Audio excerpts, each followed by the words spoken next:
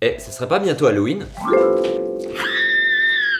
Ça fout la trouille, hein C'est mon déguisement le plus flippant. Bon, ok, on va se rattraper en fabriquant la plus diabolique des citrouilles. Bienvenue chez Papa Papou. Décorer une citrouille d'Halloween, c'est tout à fait le genre d'activité que vous pouvez faire avec vos enfants. Il y a plein de manières de les associer, on va le voir. Alors préparez-vous. Il vous faudra une cuillère, un couteau assez costaud, un saladier pour récupérer la chair du potiron et les graines, des cure-dents, un feutre et une bougie ou une bougie LED.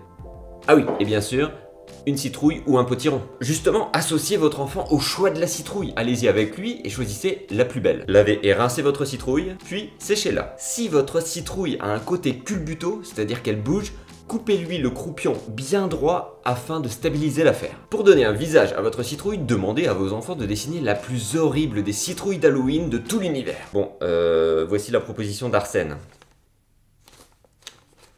Oui, bon, il est encore un peu petit pour ça. Du coup, on s'en est chargé. Voici donc à quoi ça devrait ressembler. Enfin, on aimerait. Oui, je vous préviens tout de suite, je suis le mec le moins manuel de la galaxie. Enfin, ça dépend pourquoi. On choisit ensuite le plus beau profil de la citrouille pour reproduire notre dessin en trois dimensions à l'aide d'un feutre. Maintenant, il est temps de passer aux choses sérieuses. On va venir scalper la citrouille en enlevant bien tout le haut autour du pédoncule, qui nous servira ensuite de chapeau. On fait un trou de biais avec le couteau qui doit être bien tranchant, et on tourne. À la fin, il suffit de tirer sur le pédoncule. On tire sur le pédoncule.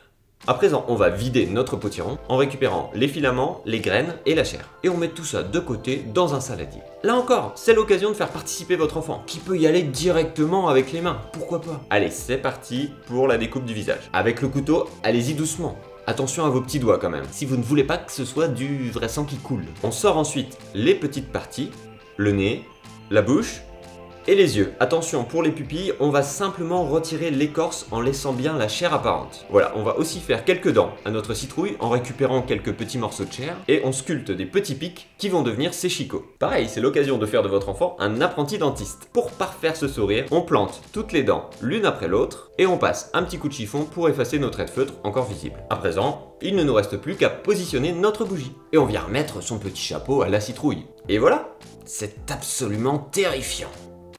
À vous de jouer Envoyez-nous vos réalisations dans les commentaires. Quant à moi, avec tout ça, je vais aller faire un petit potiron gratiné pour Arsène, en enlevant les graines avant, bien sûr. Et on se retrouve très très vite pour une nouvelle vidéo. Qu'est-ce qui fait chaud là-dedans? On reste en contact.